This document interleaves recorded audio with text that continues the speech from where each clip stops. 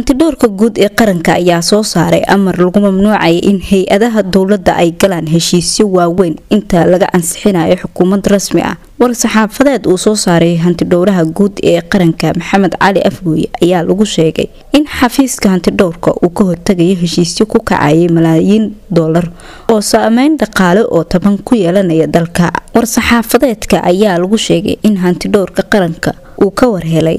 in qaar ka mid ah hay'adaha dowladda federaalk soomaaliya ay bilaabeen qorshaha hanaan lagu meelmarinayo. Dhaqangelinta heshiisyo waaweyn consontion contracts oo ku kacayo malaayiin doolar kuwaasi oo dalka ku yeelanaya saameyn dhaqaale oo taban. Xafiiska ayaa ka hortagayay islamarkaasna joojiyay heshiisyadaasi isaga oo ku wargeliyay dhammaan hay'adaha dowladda in aysan geli karin heshiisyo inta laga helayo xukuumad rasmi ah oo xilka la wareegta. Xafiiska ayaa arinkan horey uga soo saaray warqad uu ku joojinayo gelitaanka heshiisyada waaweyn inta lagu guda jiro waqtiga xilgaarsiinta